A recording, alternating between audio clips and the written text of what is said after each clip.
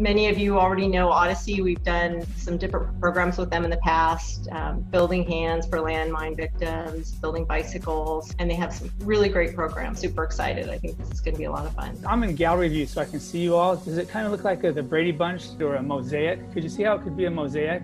And all of you, a small piece of you makes up a, a big company called the Department of Excellence. So we're going to give you a chance to work on Mosaic. I think you were sent some materials, right? I don't really have baby powder sky blue as a color, so I guess I'm going to have to mix white and blue, right? Oh, crap. Don't do that. Oh, snap. Uh, what have I been a beginner lately?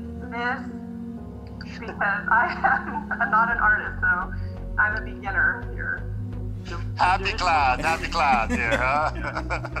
happy tree, happy everything.